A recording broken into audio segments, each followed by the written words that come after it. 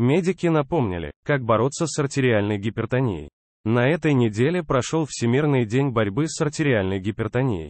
Каждый четвертый мужчина и каждая пятая женщина в мире страдают гипертонией, или, как все привыкли говорить, имеют повышенное артериальное давление.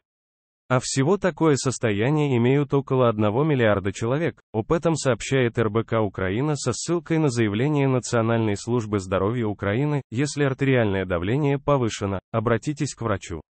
Ведь повышенное артериальное давление без должного лечения может привести к инфаркту, инсульту, почечной или сердечной недостаточности, ухудшению зрения и другим осложнениям. Профилактика гипертонии. Ваш семейный врач предоставит квалифицированные советы по профилактике артериальной гипертонии.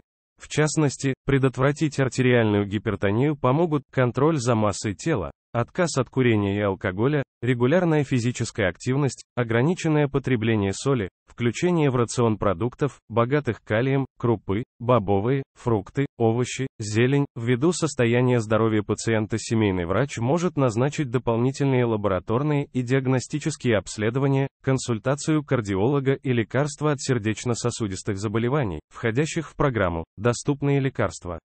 Это будет бесплатно для пациента. Напомним, подробную инструкцию по поводу того, как получить бесплатные лекарства в Украине, узнайте по ссылке.